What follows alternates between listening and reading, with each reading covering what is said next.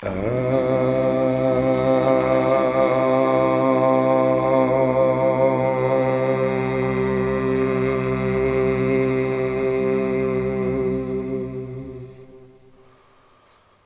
the trance dance experience, hopefully people become more sensitive and aware of themselves, their surroundings, the crossroads of humanity, and the needs of the planet. With that awareness comes understanding and compassion. That is the need of the hour and the true Goa spirit.